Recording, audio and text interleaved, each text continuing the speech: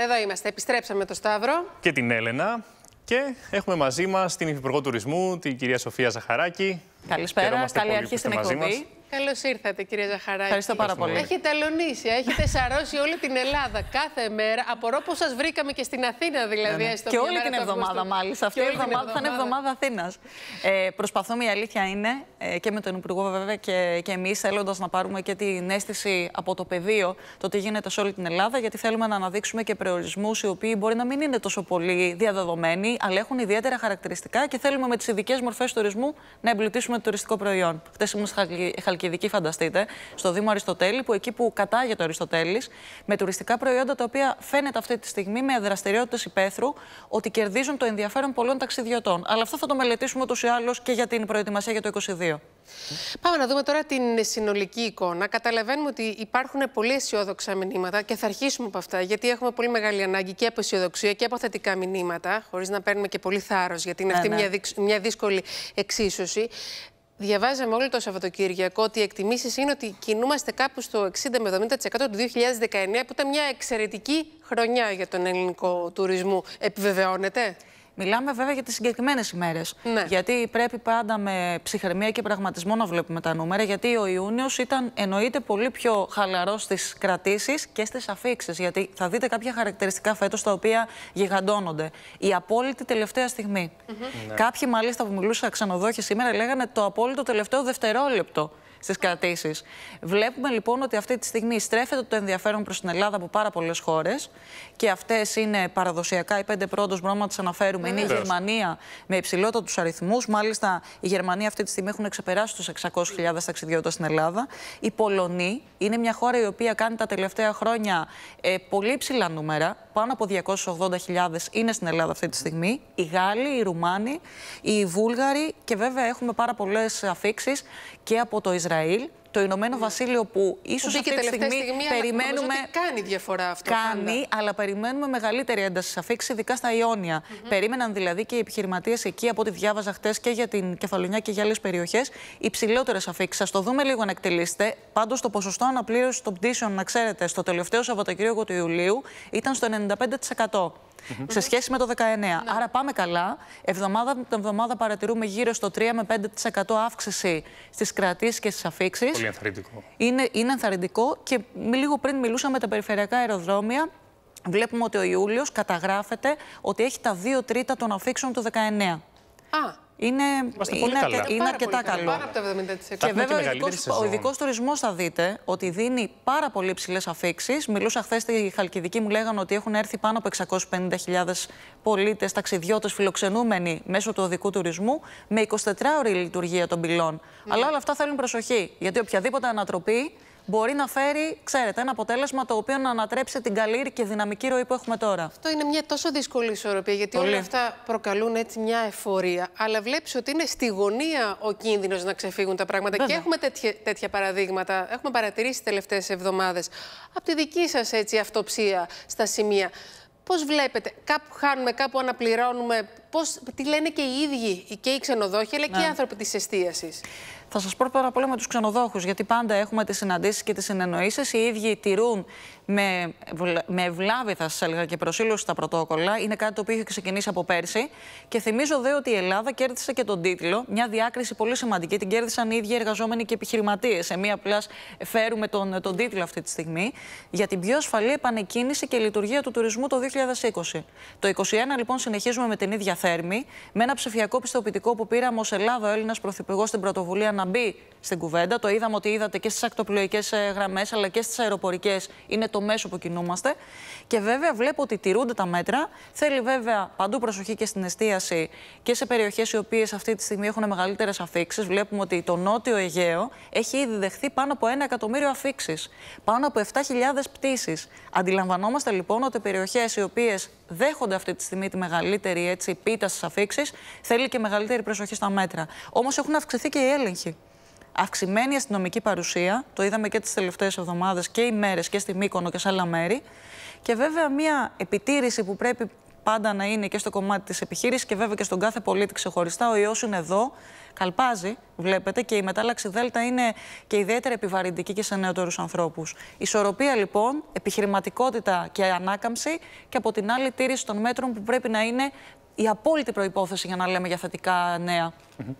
Πάντως, όλη αυτή η κατάσταση και με τους ελέγχους και με, τις, ε, με τα έγγραφα που χρειάζεται για να μετακινηθεί κανείς έχει αναδείξει και προορισμούς οι οποίοι τα, από πέρυσι, αλλά πολύ περισσότερο φέτος, ε, είναι sold out που λέμε. Έτσι. Δηλαδή, ναι. αν αναζητήσει κανείς να βρει κατάλημα στην Πελοπόννησο αυτές τις μέρες, είναι πάρα πολύ δύσκολο. Από Έχουν μείνει ελάχιστα. Σας το ναι. λέμε έτσι. Η αλήθεια είναι ότι μου το, μου το φέρουν, μου το φέρουν πάρα πολύ. και χθες είδαμε και ποσοστά, ξέρω εγώ, περιοχές στην Πελοπόννησο που έχουν και μέχρι 95 και 100%. Το λέω πολλές φορές και νιώθω έτσι μια εσωτερικό δισταγμό να το πω.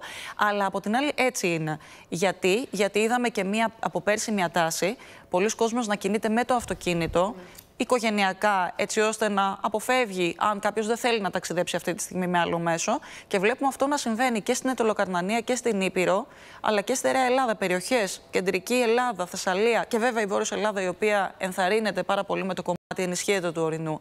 Επαναλαμβάνω όμως ότι όλα αυτά που συζητάμε και είναι θετικά και μας φέρνουν ε, χαμόγελο, μπορούν να ανατροπούν οποιαδήποτε στιγμή με την αύξηση κρουσμάτων, εισαγωγών, ναι, γιατί όλοι παρακολουθούν το χάρτη. Και όλοι παρακολουθούν με μεγάλη προσοχή, πρέπει να σας πω, χώρες όπως η Σκανδιναβία που δίνουν ιδιαίτερη μεγάλη σημασία στο επιδημιολογικό βάρος, φορτίο, παρακολουθούν το τι συμβαίνει. Και ανάλογα παίρνουν τις αποφάσεις, οι οποίες θυμίζω φέτος, το ξαναλέω, ότι λαμβάνονται τελευταία στιγμή. Είναι, πού είναι πιο εύκολο να δείτε εσείς την κατάσταση με τα υγειονομικά πρωτόκολλα; Νομίζω ότι στα μεγάλα, στα μεγάλα καταλήμματα, ναι. στους προορισμούς, κάπως μπορεί να υπάρχει ένας έλεγχος. Στα μικρά, στα πιο μικρά, πώς μπορείτε να τα πιάσετε και να τα ελέγξετε εσείς; Και με Νομι... ναι. Αυτό είναι πάντα μια ερώτηση, ότι και όλοι χαλαρώνουν στις διακοπές ναι, ναι. και όσο πιο μικρή είναι μια μονάδα, όσο πιο απομακρυσμένη είναι, βλέπεις ότι εκεί καταλύονται, υπάρχουν αναφορές, υπάρχουν καταγγελίες, πέφτουν τα λουκέτα βέβαια στα μεγάλα νησιά, αλλά βλέπουν παραλήψεις, σοβαρές παραλήψεις και σε πολύ πιο ε, σε περιοχές με μικρότερη επισκεψιμότητα. Ναι. Να θυμίσω ότι για να μπορέσει να λειτουργήσει φέτος ένα ξενοδοχείο, παίρνει το Health Pass, παίρνει δηλαδή ένα πιστοποιητικό, στο οποίο ουσιαστικά περικλεί όλα τα μέτρα, τα οποία είναι τα μέτρα τήρησης για να μπορείς να ανοίξεις. Άρα αυτό λαμβάνεται από το ξενοδοχειακό επιμελητήριο. Υπάρχει λοιπόν ένα μέσο το οποίο είναι πολύ σημαντικό το ναι. φίλτρο αυτό και είδαμε και από την πράξη πλέον και το βίαμα της προηγούμενης χρονιάς ότι τηρούνται τα μέτρα μέσα στο ξενοδοχείο. Ο κόσμος μπορεί να έχει λίγο χαλαρώσει, αλλά αμέσως με την, αν θέλετε, την παρένεση και για τη χρήση της μάσκας ή και για τη χρήση, παραδείγματος του μπουφέ. Πλέον μπορείς να σερβιριστείς από το μπουφέ φορώντας τα γάντια σου. Όπου έχω βρεθεί, το έχω δει να τηρείται πραγματικά χωρίς δεύτερη σκέψη. Αντιλαμβανόμαστε βέβαια ότι δεν μπορεί να υπάρχει έλεγχος σε κάθε κατάλημα, όπως δεν μπορεί να υπάρχει αστυνομικός σε κάθε ε, εστιατόριο απ' έξω. Άρα είναι πολύ ναι. σημαντικό το να μπορούμε και οι ίδιοι, γιατί είναι υψηλό το στίχημα και το διακύβευμα, να λέμε ότι αυτή είναι η ισορροπία και η γραμμή μεταξύ της απαραίτητης ανάπαυλας που όλοι τη θέλουμε και τη χρειάζονται και τη φιλοξενούμενοι μας. Και βέβαια και τη στήριξη των μέτρων που δείχνουν το χρυσό διαβατήριο για να πάμε και φέτος και του χρόνου και τα επόμενα χρόνια καλά. Αλλά έχουμε όμως μέτρα και βέβαια βλέπω, σας λέω ότι πραγματικά τηρείται στο κομμάτι των ξενοδοχείων. Έχουμε πάρα πολύ αυστηρή Πού να το λύσει, κυρία Ζαχαράκη, όταν πηγαίνετε εσείς στο μπουφέ τώρα να, να κάνει κάτι που δεν είναι. σε άλλα μπουφέ, δεν, που δεν, δεν είναι, σωστό τώρα. Δεν θα το κάνουν μπροστά σας. Υπάρχει ένα πολύ μεγάλο σύστημα με ενοικιαζόμενα δωμάτια ναι. μέσα από τις πλατφόρμες που γνωρίζουμε κτλ. Που εκεί φαντάζομαι ότι ο έλεγχος δεν μπορεί να είναι ο ίδιο, το ίδιο αυστηρός με μια μεγάλη μονάδα, με ένα ξενοδοχείο που θα πάρει το πιστοποιητικό ή που θα ξέρει ότι μπορεί να βρεθεί ένας ελεγκτής εκεί και να δει ναι. αν τηρούνται τα μέτρα. Φανταστείτε όμως πόσο ε, επηρεάζει την υπόλοιψη κάποιου ξενοδοχείου, οποιοδήποτε μορφή ή κάποιου ενοικιαζόμενου δωματίου, το να μην τηρείται το μέτρο. Γιατί όλοι έρχονται και έχουν επίγνωση πρώτα απ' όλα για την τήρηση της ατομικής υγείας, αλλά και του κομματιού της αντιμετώπισης του COVID, ότι η χώρα έχει συγκεκριμένο πλαίσιο.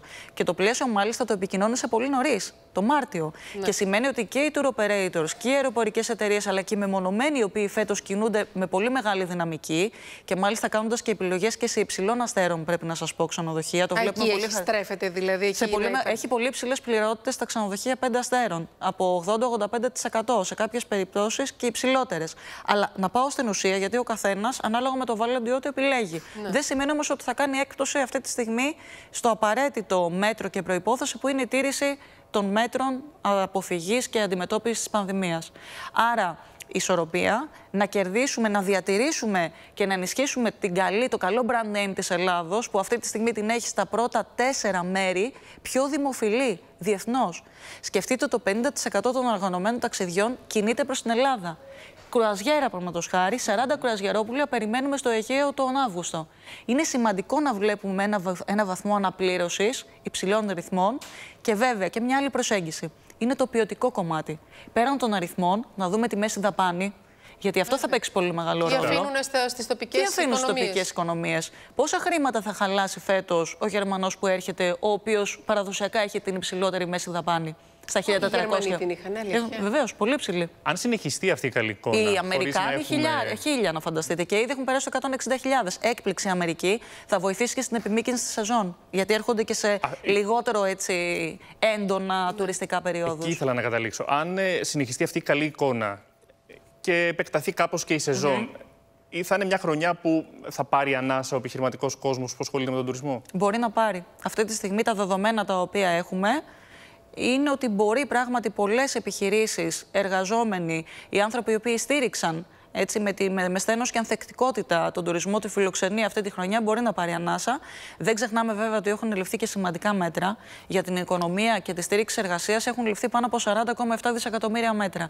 Και έχουμε και το πρόγραμμα ΕΣΠΑ για την επανέναρξη, την επανεκκίνηση του τουρισμού, για καταλήμματα και τουριστικά γραφεία, αλλά και τα, τα μέσα μεταφοράς στα τελεοφορία, το οποίο είναι σε εξέλιξη 350 εκατομμύρια. Και βέβαια οι πάγιες δαπάνες, οι οποίες επίσης έχουν επιδοτηθεί, μέτρα τα οποία είναι τα πρόσφατα.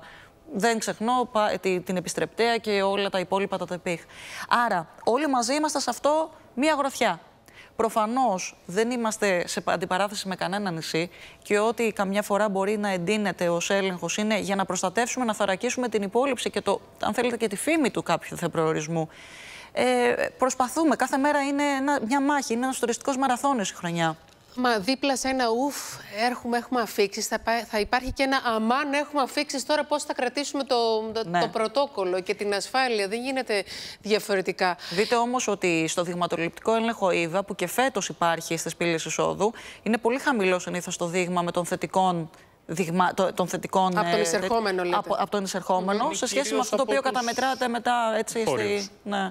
ε, Έχουμε νησιά, βέβαια, όπως ξέρω, η Ιως, που έχει υψηλότερο βαθμό τοπικού εμβολιασμού, αλλά δεν είναι τοπικός πληθυσμός, είναι οι ελεύσεις πολλές φορές οι οποίες επηρεάζουν. Αλλά είναι καλό το ότι με την αντιμετώπιση, την άμεση αντιμετώπιση και αντίδραση, θα βλέπουμε και ελπίζω να βλέπουμε ε, καλύτερες καταστάσεις στο επιδημιολογικό φορτίο. Οι Μακάρι. δύο επόμενες εβδομάδες είναι αυτές που μα προκαλούν μεγαλύτερη ανησυχία. Τέσσερις. έτσι. Ναι. Όλος ο Αύγουστος. Ναι, δηλαδή. είναι όλος ο Αύγουστος. Γιατί πραγματικά, όπως είπαμε και πριν, για να μην κουράζουμε έτσι και το κοινό, αλλά είναι σημαντικό βλέπουμε ότι ο καθένας περιμένει να κλείσει τις διακοπές. Έχουμε τους Έλληνες οι οποίοι θα στηρίξουν και φέτος πάρα πολύ ο εγχώριος πληθυσμός και με τα, κοινο... με τα πρόγραμματα κοινωνικού τουρισμού και το δικό μας το τουρισμό για όλους. Ήδη βλέπουμε μια ροή στην εξαργύρωση των vouchers που θέλουμε να ενισχυθεί. Γιατί καταλαβαίνετε ότι όλοι θέλουν τη μία εβδομάδα, είναι πολύ δύσκολο να βρουν και διαθεσιμότητα. Όμως αυτό θα απλωθεί. Εμείς δώσαμε παράταση φέτος μέχρι 31 Δεκάτου στα vouchers στα δικά μας και προσθέσαμε και παρόχους και δικαιούχους. Την άλλη εβδομάδα, μάλιστα, αναμένεται να γίνει και κλήρωση για νέους δικαιούχους. Άρα, βλέπουμε καλά, ε, καλά σημεία. Μακάρι αυτό να συνοδευτεί με μια επιδημιολογική κατάσταση, η οποία δεν θα προκαλεί εκείνη τη στιγμή ανησυχία για να αυξάνουν οι ροές και να επιμηκυνθεί η σεζόν. Mm -hmm. Κύριε Ζαχαράκη, πριν κλείσουμε, μια ερώτηση. Με τον αεροπορικό τουρισμό, τι κάνουμε, Είναι ναι. υποσύσταση μια επιτροπή ναι. για να εξετάσει αυτά τα Εντός θέματα; Εντό ημερών θα είναι έτοιμη και η επιτροπή, γιατί συνεργαζόμαστε και με το Υπουργείο Μεταφορών, τον κύριο Κεφαλογιάννη. Μας ενδιαφέρει πάρα πολύ και στη μετά-COVID εποχή, mm -hmm. με ταμείο ανάκαμψη, το οποίο θα έχουμε προτάσεις περίπου 300 εκατομμύρια ευρώ και 46 εκατομμύρια μέσα σε αυτά για την επιμόρφωση του προσωπικού και των ανέργων και των εργαζομένων, να στοχεύσουμε στην επόμενη μέρα. Ο αεροπορικός τουρισμός είναι ήδη σε αυτό. Ήδη έχουμε λάβει, πρέπει να σας πω, ο κύριος Κεφαλογιάννης και η ΙΠΑ, που είναι η αντίστοιχη και αρμόδια υπηρεσία, δύο μέτρα που βοηθούν τον αεροπορικό τουρισμό. Κάποιες περιοχές, να ξέρετε, ότι στηρίζονται σε πολύ μεγάλο βαθμό από τα μικρά έτσι, αεροπλάνα, τα οποία κάποιοι άνθρωποι αγαπούν πολύ και στηρίζουν περιφερειακές κυρίως έτσι δομέ. Και αφήνουν και βέβαια ε, πολύ, πολύ, μεγάλη ενίσχυση. Όπως φανταστείτε στο συνεδριακό τουρισμό, ναι, έχει ταξιδιώτες οι οποίοι χαλάνε πολλέ φορές και 40 με 50% παραπάνω στην παραμονή τους.